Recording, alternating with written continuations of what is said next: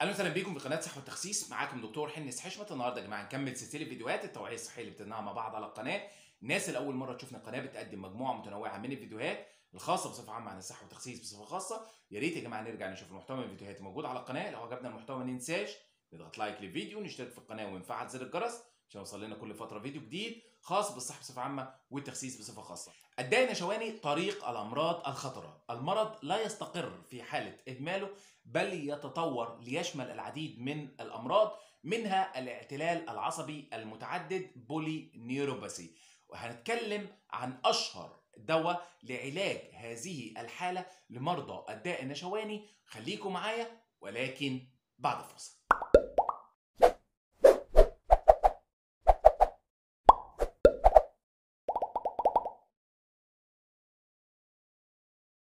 ورجعنا لكم تاني بعد الفاصل وأهلا بيكم مرة تانية في قناة صحة وتخسيس دكتور إيه هو الدواء المستخدم لعلاج الاعتلال العصبي المتعدد ال polyneuropathy لمرضى الداء النشواني؟ الدواء اسمه inotersen وتصنيفه كدواء هو مركب غير عضوي. فئة الأمراض اللي بيعالجها هي الأمراض الباطنية.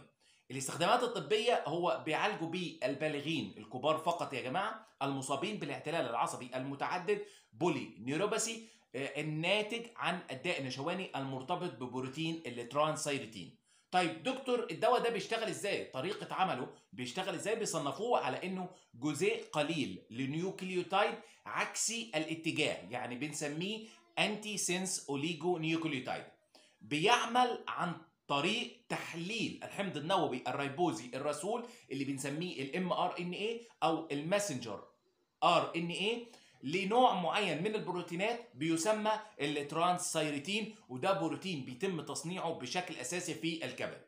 هناك عدة حالات من الداء النشواني تنتج عن حدوث ترسبات غير طبيعية لبروتين ال transthyretin في مناطق مختلفة من أنسجة الجسم منها الأعصاب منها القلب منها العيون منها الكلى ما يسبب إعاقة وظيفية لهذه الأنسجة يقوم الدواء بتحليل الحمض النووي الريبوزي الرسولي لأنواع مشوهة جينيا من بروتين ال transthyretin بالإضافة إنه بيرتبط بال transthyretin ذو الجين بري النمط اللي بنقول عليه ال wild type وبيقلل مستوياته في الدم وبيقلل ترسبه في الأنسجة والأعضاء المختلفة. طيب دكتور الأشكال الدوائية والتركيزات بتاعه هذا الدواء هو بيجي في صورة علبة يا جماعة بتحتوي على محلول للحقن تحت الجلد بتركيز 284 مللي جرام في واحد ونص ملي لتر.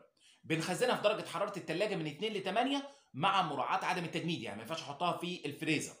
وممكن أحفظ الدواء في درجة حرارة الغرفة لا تزيد عن 30 درجة مئوية لمدة لا تزيد عن 6 أسابيع. بعدها يتم التخلص من أي كمية من الدواء غير مستعملة. طب الجرعة بتاعتها للكبار بنديها إزاي؟ الجرعة بندي حقنة كاملة واحدة للبالغين مرة اسبوعيا في نفس اليوم من كل أسبوع. طيب تعليمات تناول الجرعة إزاي؟ المريض أول حاجة لازم يخرج الإبرة من الثلاجه وتترك في درجة حرارة الغرفة لمدة نص ساعة قبل الحقن مع ضرورة عدم تسخين الإبرة باستعمال أي وسائل التسخين. وعدم تعرضها لإشعة شمس. يعني واحد اتأخر على ميعاد الجرعة يجي حاططها مثلا في يسخنها أو يعرضها للشمس أو أي وسائل تسخين ممكن تيجي في دماغك ما ينفعش أعرض الإبرة لأي وسائل تسخين. وأنا بس بسيبها لمدة نص ساعة في درجة حرارة الغرفة قبل ما أستعملها. طيب نسيان الجرعة أخدها فور ما أفتكرها يا جماعة خلال يومين ولكن في حالة مضى أكتر من يومين على نسيان الجرعة لا تؤخذ وتؤخذ الجرعة التالية في الموعد المحدد مع الحرص على عدم الحصول على جرعتين في نفس الوقت لأن الآثار الجانبية بتاعة الدواء خطيرة جدا. طيب دكتور إيه هي الآثار الجانبية بتاعة الدواء؟ بصوا يا جماعة الدواء ده ليه آثار جانبية خطيرة تستلزم رعاية صحية فورية. فلازم الناس اللي هتستخدم هذا الدواء أو بتفكر إن هي تاخده لازم تخلي بالها من الآثار الجانبية بتاعته. أول حاجة بيحصل تفاعلات وعلامات للحساسية المفرطة ودي بتظهر على شكل طفح جلدي شري ضيق في التنفس دوار شديد تورم في الفم والشفاه واللسان والحلق والوجه. عندنا كمان أعراض وتفاعلات مرتبطة بالحقن خلال ساعتين من تلقي الحقنة. المريض بيحصل له صداع ألم في الصدر أعراض بتشبه الإنفلونزا جسمه بيدفى في قشعريرة في إحمرار في باطن الكفين ألم في العضلات والمفاصل تحرك العضلات بشكل لا إرادي تلاقي العضلات فيها رعشة كده لا إرادية. كمان في أعراض تدل على بدء مشاكل الكبد. بتلاقي المريض يحصل له قيء وغثيان مستمر فقدان الشهية ألم في البطن والمعدة إصفرار لون الجلد بياض العين وده يا جماعة دليل على اليرقان. خروج البول بلون غامق وارتفاع وظائف الكبد. كمان في أعراض بتدل على الإصابة بالسكتة زي مشاكل الكلام تلاقي المريض مش عارف يتكلم. في ضعف أو خضر مفاجئ في جانب واحد من الجسم الارتباك تغيرات مفاجئة في الإبصار مشاكل الاتزان تلاقيه مش عارف يقف أو يصلب نفسه. في كمان أعراض نقص فيتامين الف المؤثر على العيون تلاقي المريض في عنده جفاف في العيون تشوش الرؤية. مشاكل الإبصار في الضوء الخافت اللي هو بنسميه العمى الليلي تدلي جفون العيون. نزيف في بياض العيون جحوظ العيون. كمان بيحدث نزيف غير طبيعي أو سهولة ظهور الكدمات في جسم المريض. ظهور بقع حمراء أو ارجوانيه تحت الجلد. ظهور الدم في البراز والبول. وكمان البول بيبقى فيه رغوي يدل على نزول البروتين في البول.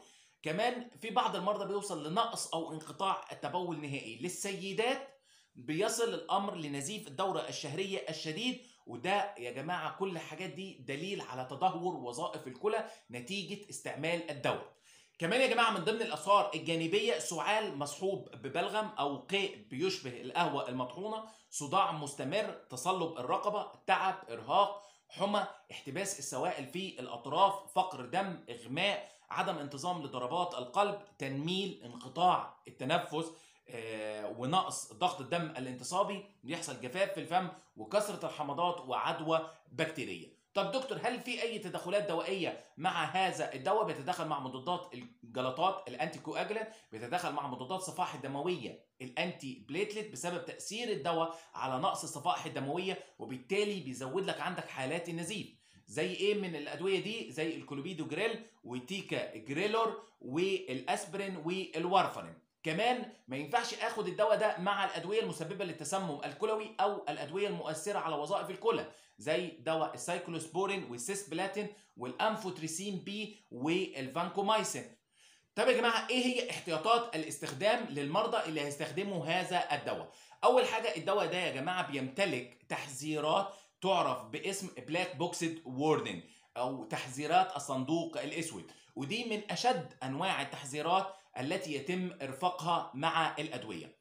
أول حاجة الدواء بيسبب نقص مفاجئ وغير متوقع في عدد الصفائح الدموية ما يؤدي لحالات نزيف مهددة للحياة. لذلك قبل ما أبدأ باستعمال الدواء لازم أقيم عدد الصفائح الدموية لدى جميع المرضى وأستمر في مراقبتها أثناء العلاج. وحتى في بعض الحالات بوقف الدواء في حال ظهور أعراض نقص الصفائح الدموية إلى أن تعود عدد الصفائح الدموية إلى المستويات المقبولة. مع الاستمرار في مراقبة الصفائح الدموية بعد التوقف عن استخدام الدواء لمدة 8 أسابيع على الأقل. تاني حاجة لازم أراقب وظائف الكلى قبل استعمال الدواء أقيم مستوى الكرياتينين معدل الترشيح الكبيبي المقدر وتحليل البول مع الحرص على عدم بدء الدواء أو التوقف عن استعماله لما نسبة الكرياتينين على بروتين البول تساوي أو تبقى أكتر من 1000 ملي جرام لكل جرام. وفي حالة التأكد من إصابة بالالتهاب كبيبات الكلى يتم إيقاف الدواء. بعد كده مرضى زراعة الكبد يا جماعة الدواء ممكن يسبب رفض للعملية لذلك يجب إيقافه في حالة تطور أي أعراض أو علامات تدل على رفض عملية زراعة الكبد. بعد كده يا جماعة عندنا مراقبة مستويات ناقلات الأمين والبيليروبين عند استعمال الدواء كل أربع شهور وخلال استعماله مع التوقف بشكل مؤقت أو دائم في حالة تطور أعراض تدل على اعتلال الكبد لأن الدواء يا جماعة بيسبب إصابات في الكبد لتجمعه داخل الكبد.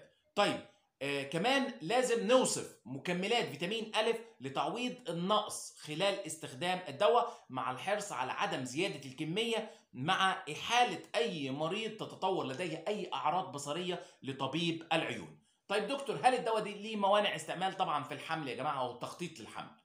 آه، في الرضاعة أو التخطيط للرضاعة المعاناة من التهاب كبيبات الكلى glomerulonephritis كمان الإصابة بالسكتة الدماغية أو تمزق الشرايين حيث أن استعمال هذا الدواء بيؤدي لتغيرات التهابية ومناعية تسبب حدوث تفاعلات تؤدي للسكتات الدماغية. كمان يا جماعة ما ينفعش أستخدم الدواء ده في حالة نقص الصفائح الدموية عن 109 في 100 لكل لتر.